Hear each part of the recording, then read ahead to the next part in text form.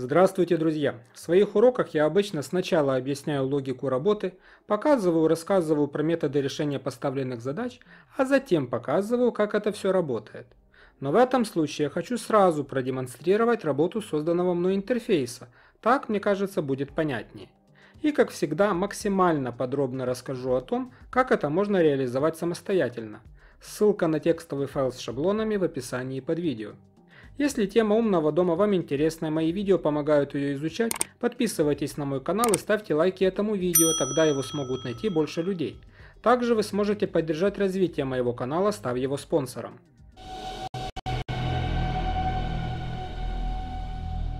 Хотя, с момента создания предыдущего урока по этой теме, его номер 11.1, на дату этого видео прошло почти два года, он все еще актуален. В нем, напомню, показано, как создать Telegram-бот, как прописать его в системе Home Assistant и даже некоторые приемы работы с ним. Если вы его не видели, ссылка в описании под видео. Поэтому в этом уроке я не буду возвращаться к базовым понятиям, я подразумеваю, что бот у вас уже настроен и в системе проведены соответствующие настройки. В дополнение хочу добавить, что кроме прямого общения с ботом в режиме личных сообщений, он также поддерживает работу в группах, в которых может быть много людей и много ботов. Получить ID группы можно при помощи того же бота, который определяет идентификатор пользователя, это показано в уроке 11.1. Для этого его нужно временно добавить в нужную группу, в том числе прямо при ее создании. После этого уже в созданной группе пишем боту команду, они доступны в его меню на получение идентификатора группы. Обратите внимание, что для групп он начинается с символа минус. Прописываем его аналогично пользовательским. В конструкторе ботов при помощи команды mybots переходим в список своих ботов. Выбираем нужный «Настройки». Пункт Allow Groups. У меня он уже включен, поэтому тут кнопка «Выключить». Проверьте, чтобы был включен и у вас. Это позволит получать в одном месте сообщения от разных ботов, если у вас несколько серверов умного дома, и добавлять в эту группу пользователей, которые смогут взаимодействовать с ботами в рамках этой группы, не прописывая их ID в конфигурации. В финальном на дату обзора пакеджа, который я создал для управления своим умным домом, получилось более тысячи строк кода.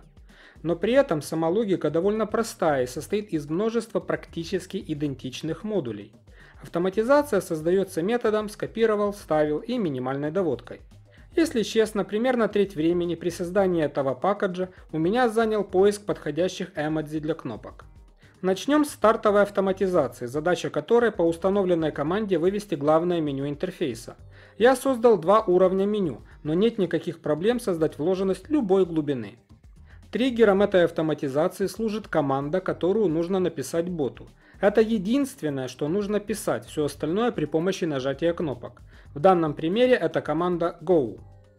После получения этой команды автоматизация отправляет сообщение при помощи сервиса Telegram Bot Send Message. Здесь я применил шаблон, который определяет ID пользователя, который написал стартовую команду. Это дает несколько преимуществ. Во-первых, это универсальность применения. Можно использовать в группе, где много участников.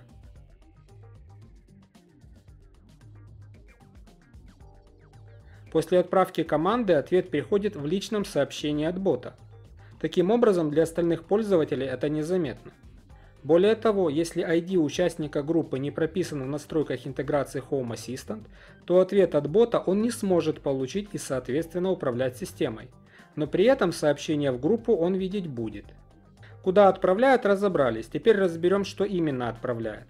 Это главное меню, в моем случае верхняя вложенность. Его задача облегчить запуск команд, которые нужно уже не набирать, а запускать нажатием на кнопки. Меню состоит из двух частей. Сообщение – это текст. Сюда можно вставлять эмодзи, для этого используется Unicode. Ссылки на таблицы с ними вы найдете в текстовой версии урока. Также тут можно использовать состояние объектов Home Assistant, в том числе используя шаблоны, чуть далее я покажу как. В данном случае тут изображение гаечного ключа и текст. Далее идет раздел Inline Keyboard, кнопки.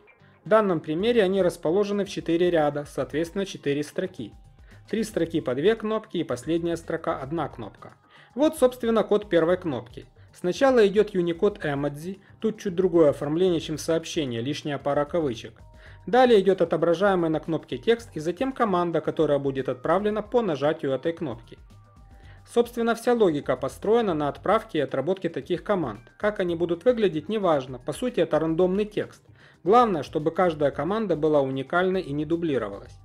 Еще один момент. Если вы такую команду отправите вручную, ничего не произойдет. Конкретно эта автоматизация как бы одноразовая. Ее задача вывести главное меню по ручной команде, и в дальнейшей логике она не участвует, в то время как все остальные автоматизации взаимосвязаны. В моем примере каждая из первых шести команд вызывает меню управления отдельно взятой комнаты, и для каждой из них сделана отдельная автоматизация. Логика всех автоматизаций одинакова, все по сути созданы путем копирования и небольших изменений. Рассмотрим одну из таких автоматизаций. Для примера я взял меню управления, вызываемое по нажатию на кнопку санузел по команде BT Control. Переход в новое меню.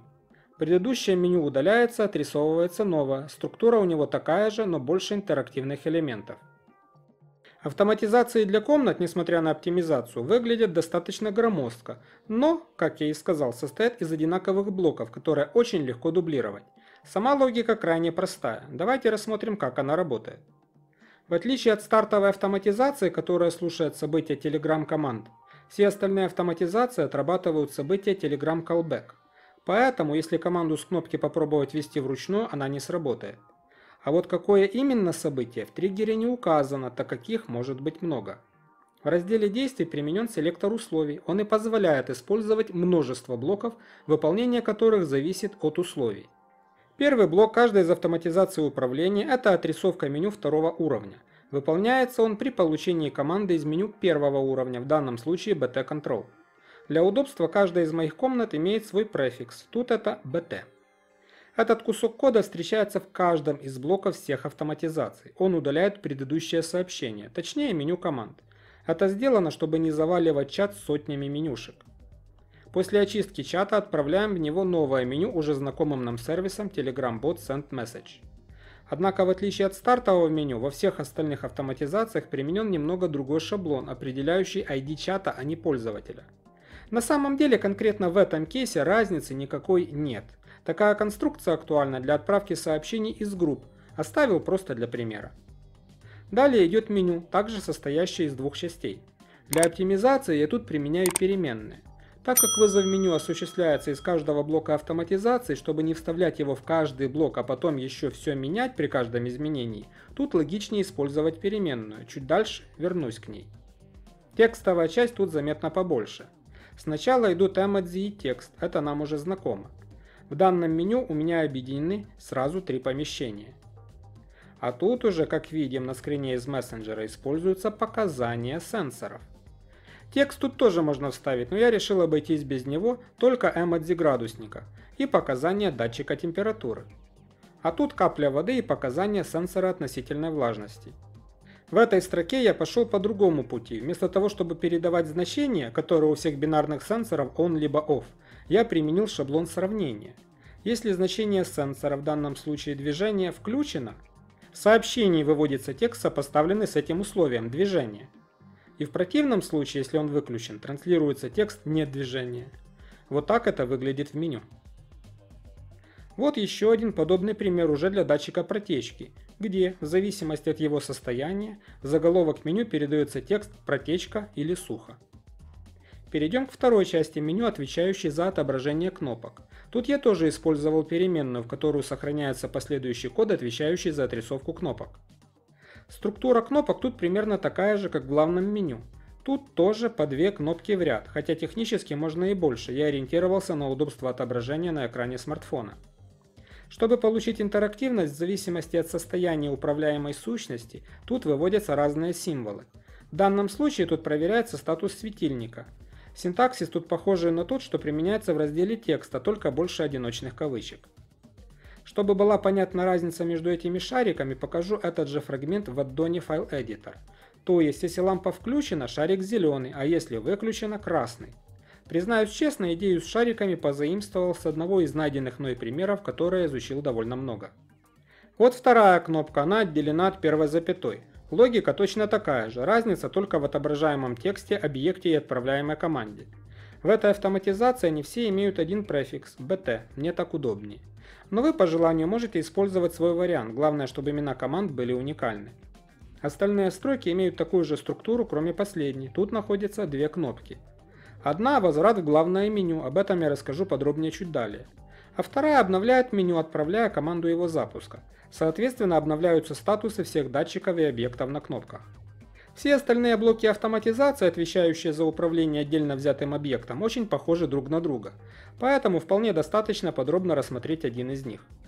Вызов этого блока происходит после отправки команды с одной из кнопок, в частности это управление люстрой в туалете. Эта конструкция используется во всех блоках управления, отличие только в команде. Далее идет выполнение действия, в данном случае переключение состояния светильника. Эта часть уникальна для каждого блока. Тут может быть и реле, и виртуальные сущности, в принципе что угодно.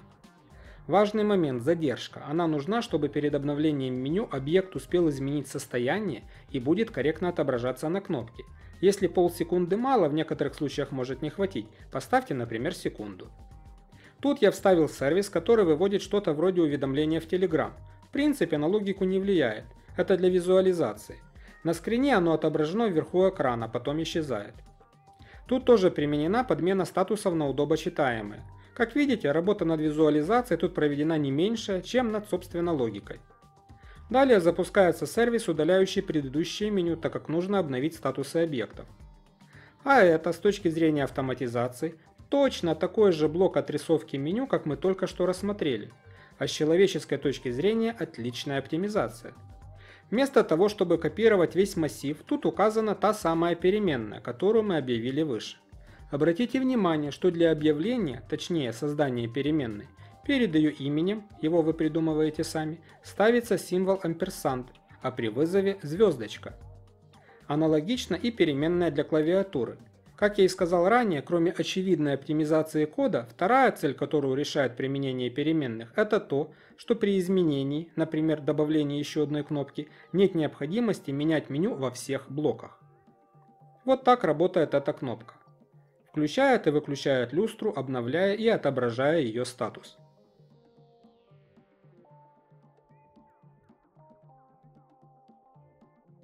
Вот пример еще одного блока. Из отличий другая инициирующая команда. Логично, что для каждого устройства она должна быть своя. Вместо простого переключения тут сервис нажатия на виртуальную кнопку. Это позволяет запускать и сложные автоматизации, в том числе с проверкой корректности включения, про которые я рассказывал в своих блогах.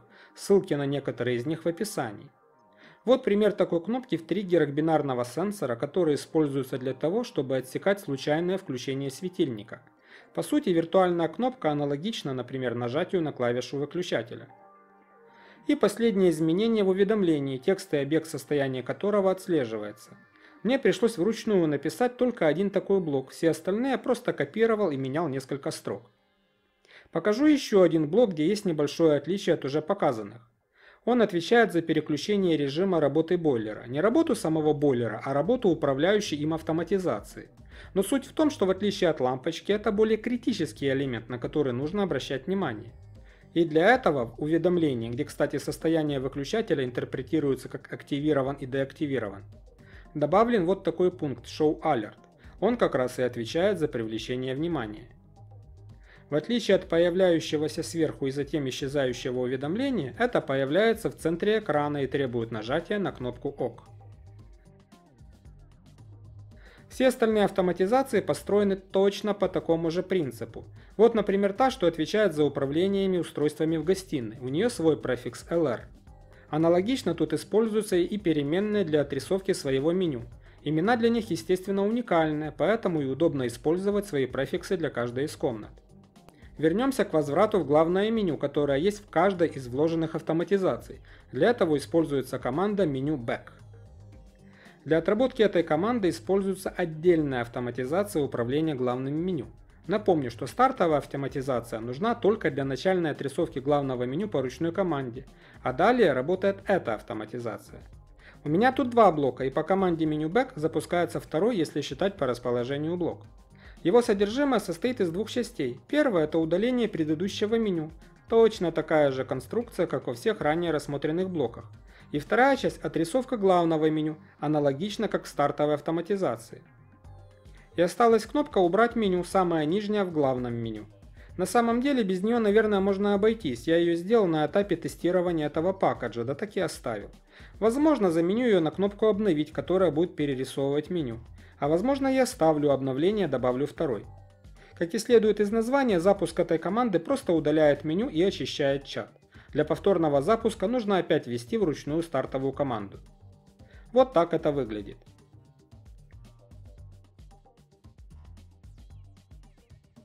Как я и сказал в начале, тут используется модульная логика из практически идентичных блоков для отрисовки меню и управления. При необходимости по нажатию на кнопку меню второго уровня, по аналогии, можно запускать меню третьего уровня, например, для выбора эффекта на светильнике. Возможно, эту идею я реализую позже. Мой рабочий пакет занимает более тысячи строк, приводить в текстовом примере его полностью нет смысла. Поэтому, кроме стартовой автоматизации управления главным меню, в текстовой версии я оставлю только две автоматизации второго уровня. Весь пакет целиком можно будет увидеть на моем GitHub в конфигурации сервера, начиная с 27 итерации. Про какие-то существенные обновления я буду рассказывать в своих блогах. На этом все. Надеюсь, видео было вам полезно и интересно. Буду благодарен за ваши лайки и подписки. Кто хочет поддержать мой канал материально, можно стать спонсором канала или оформить подписку на сервисе Patreon. Также я веду и телеграм-канал, буду рад, если вы присоединитесь к нему. В описании под видео вы найдете полезные ссылки на все устройства, показанные в обзоре на полезные ресурсы, а также на те видео, которые либо упоминаются, либо пересекаются с темой этого. До новых встреч, всем мира!